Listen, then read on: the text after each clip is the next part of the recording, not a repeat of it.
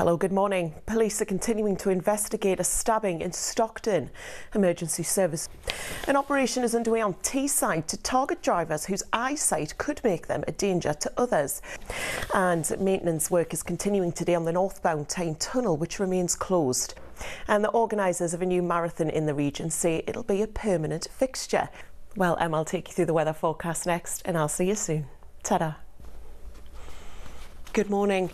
The mother of a teenage girl who was allegedly murdered in Hexham is raising money to fund bleed kits to save the lives of others.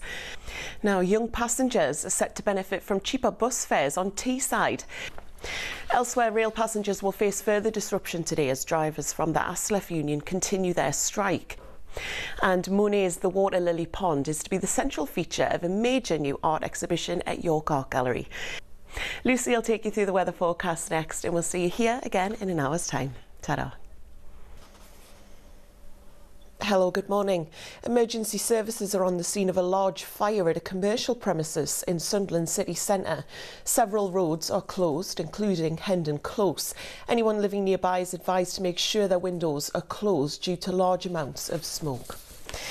Now, friends of a County Durham man who died by suicide will walk 40 miles this weekend to raise awareness of men's mental health.